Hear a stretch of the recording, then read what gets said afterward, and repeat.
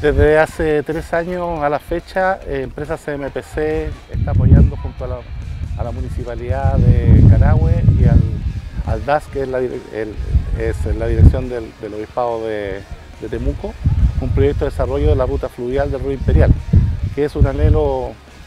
que la gente de Carahue y la comuna tiene desde hace muchos años. Y en el marco de ese proyecto hemos querido como empresa eh, auspiciar este Campeonato Internacional de Canotaje constituye un hito en la, historia de Carahue por, el nivel de competidores que hay